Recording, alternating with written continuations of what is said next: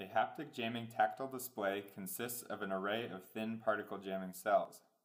It can change its shape and mechanical properties simultaneously through a combination of vacuuming individual cells, pressurizing the air chamber beneath the surface, and pinning the nodes between the cells at various heights.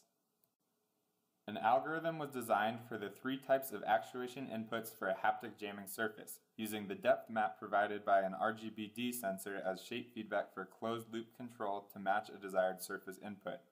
A mass spring model of the haptic jamming device generated three unique surface shapes as desired inputs into the controller.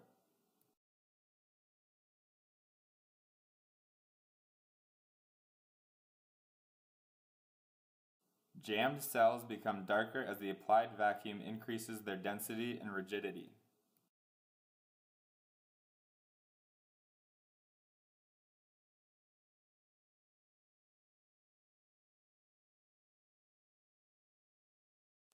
When the desired input surface is generated from a 3D model of an object that a haptic jamming surface cannot necessarily recreate, the difference between the input and the output increases substantially. However, simulation of a larger array suggests that a haptic jamming surface can provide a compelling match for these more complicated shapes.